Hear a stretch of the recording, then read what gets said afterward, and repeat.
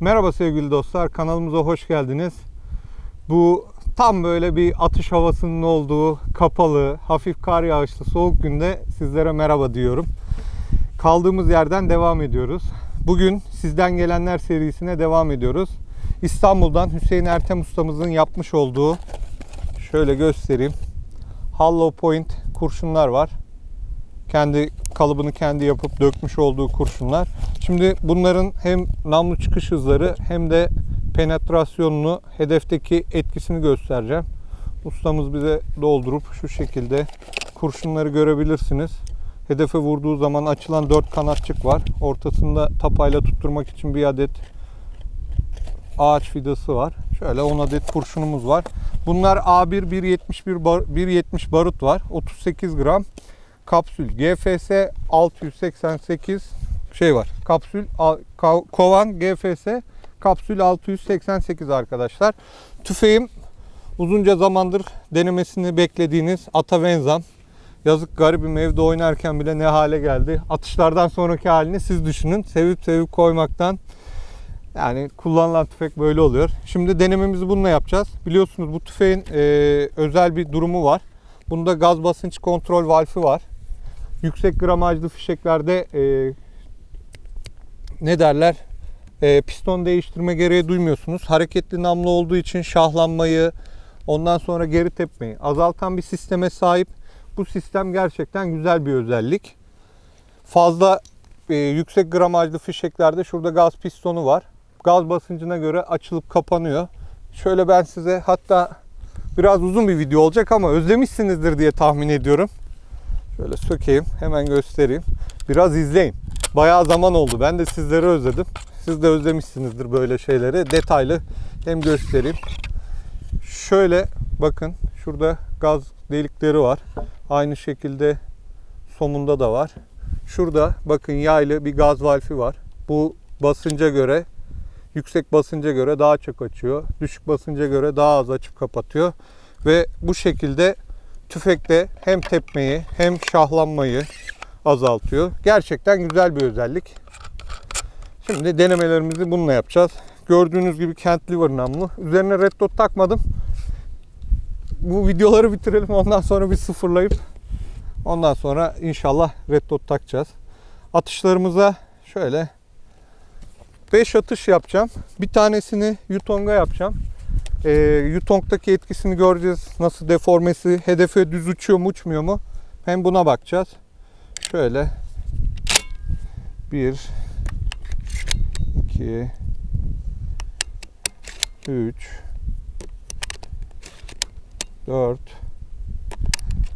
Bunu almadı. 3 artı 1. Şimdi ilk atışımızı gerçekleştiriyoruz. Ben şöyle yapayım. Şunun altına.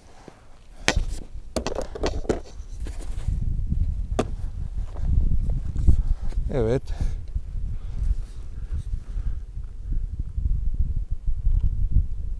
İlk atışımızı gerçekleştiriyoruz. Evet. 417 metre bölü saniye.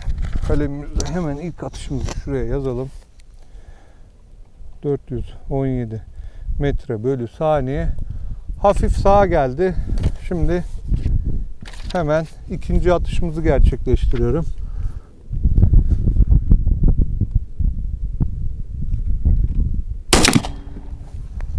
...388 metre bölü saniye... ...metre bölü saniye... ...ikinci atış...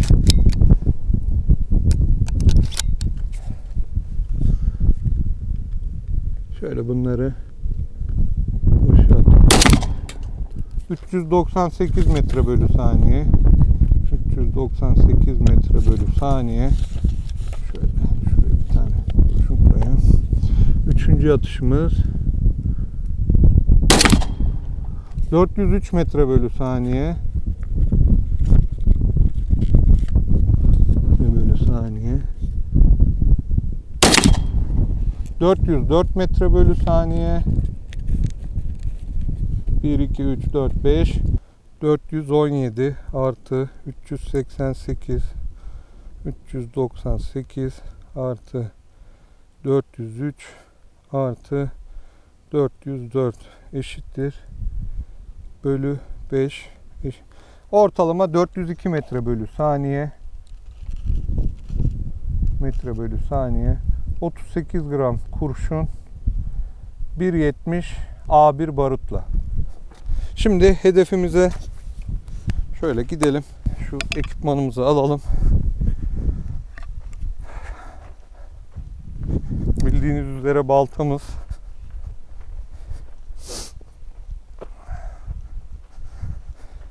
Şimdi kurşunun bir de deformasyonla içeride hedefe çarptığı andaki etkisi nasıl?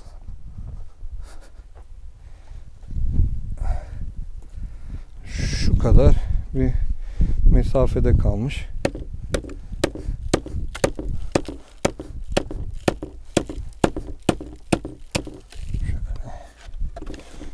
Özlemişsinizdir böyle kesip biçme işlerini.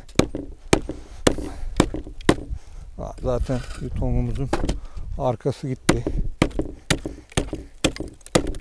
Tamam. Yutomumuz bayağı deforme olmuş yutomumuz. Hoppa. De. Kurşunumuz nerede acaba? Heh. Şöyle. Bakın arkadaşlar kurşunun deformasyonunu görebiliyorsunuz. Kanatçıkları dağılmış ortadaki vida kurşunun domuza vurduğu anda etkisi bu. Hüseyin Ertem ustamızın eline emeğine sağlık. Kurşunun deformasyonundan hedefe düz çarptığı anlaşılıyor. Mesafemiz 25 metre. Bu atışımızı gerçekleştirdiğimiz. Ağır çekim kameramızda inşallah görüntüyü daha net göreceksiniz. Ee, nasıl diyeyim arkadaşlar? Bu tarz videolara bilmiyorum ee, izlenmeler bayağı iyi gidiyor. Eğer bu tarz videolara devam etmemizi istiyorsanız beğeni yapmayı unutmayın, paylaşmayı unutmayın. Biz zaten bizi takip eden destekçilerimizin gönderdiği kurşunları hani denememizi istediklerini kesinlikle kırmayıp deniyoruz. Bizim için de içerik oluyor. Çok teşekkür ediyorum buradan Hüseyin Ertem ustamıza. Eline koluna sağlık diyorum. Kendinize iyi bakın. Görüşmek üzere arkadaşlar.